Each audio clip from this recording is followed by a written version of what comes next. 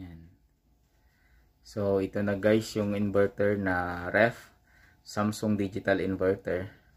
So, naayos na natin. So, tingnan natin kung anong karga.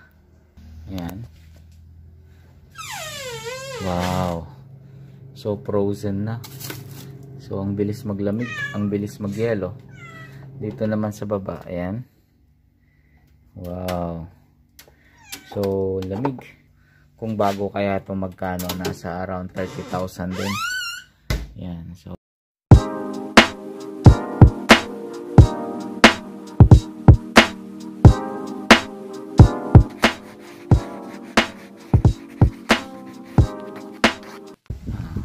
Iinla ko marit. Kada nga. Basta. Ah, kita. oh. Ayos. Uy, ingat. Mas ka, agmas ka ka na yun. Ni ato isa ko, baka kayo mga ibatin. Sapay ko mga hindi tayo matamaan. Ano yung matamaan?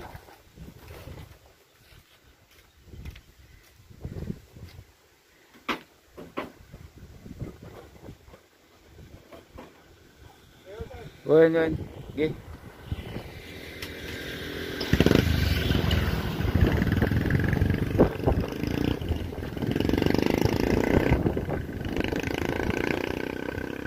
Guys.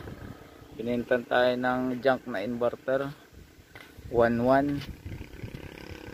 So, yan. Kompleto pa naman siya. Konting linis lang. Ayan o. Konting linis lang. Okay na ulit. So, tingnan natin kung bakit ano anong problema. Mga design pa ng vegan. Ayan. Okay. So, umaandar ang compressor. Yan umaandar oh. Pero hindi lumalamig. Sa sa ammeter 0.2. Dapat mga 0.6 to eh. So, ano yun lang natin, tayin-tayin natin. Hanggang mamaya. So, ayan na. Ayan na guys, nililinis na ni Jerwin. Ayan ako. Ayan. Lilinis na ni Jerwin yung inverter na nabili natin. Ayan. Oh. Oh. So, linisan mo na lang ha. Braso mo Jerwin ha. Pati dagito yung gasket na ni. Ta ako ha. Pagbalinan ta. Ah. Linisan mo na lang. Dede sabon nga ko Ariel.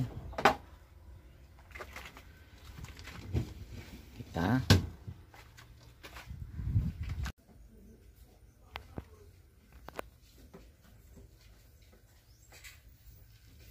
Amo nga sibsibuagan ti danom ita ah.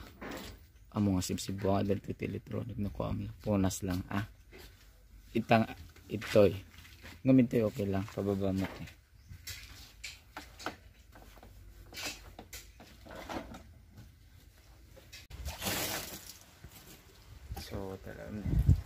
Linis. Atot brush mata. Brush May katata. Skip. Parang bago na ah. Ah. 1,000 ito nabili natin dun sa ano binenta nung nagbubuti nangangalakal 1,000 so inverter kasi kaso hindi siya lumalamig so tinignan ko may may bypass na yung condenser tingnan natin kung may leak ba ulit o kaya sobra ang kinarga Ayan. linis Slabaro na. Slabaro yung Jerwin. Yeah. And uh, pagkatas malinisan ni Jerwin ay binabacuum natin. Subukan natin chargingan itong uh, inverter na nabili natin kay ano mga ngalakal. So binabacuum ko muna siya kasi nakargaan ko siya ng Ah, bagong Prion. R600 pala to. So, sana mapagana natin. Yan.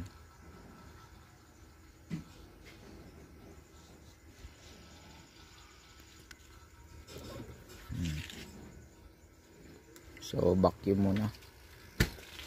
Tapos kargan natin na R600.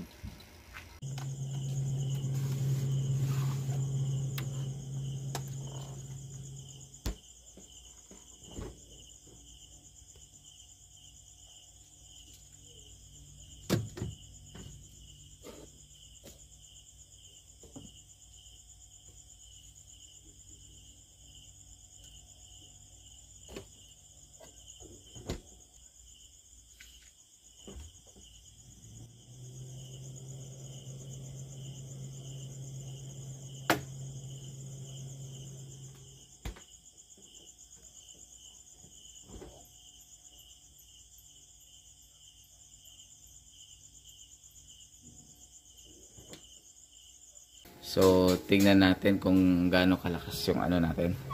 Ayun no. Tignan nyo, oh. Grabe yung usok niya. As in, eh, nanigas yung mga ano. So, maganda pala ang inverter. Yung ice cream natin.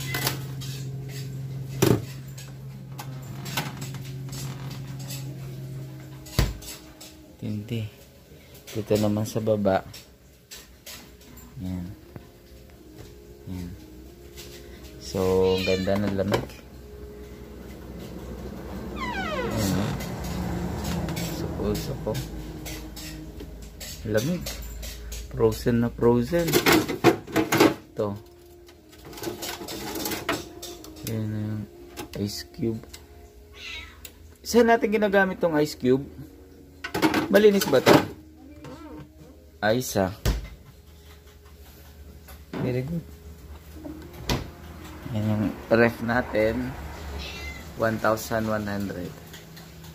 Inverter.